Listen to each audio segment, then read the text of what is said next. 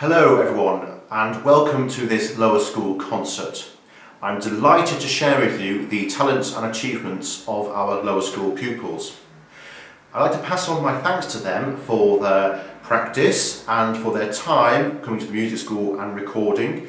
I'd also like to thank their teachers and my colleagues um, for all their support and assistance. Thank you all for watching and I hope you enjoy the concert.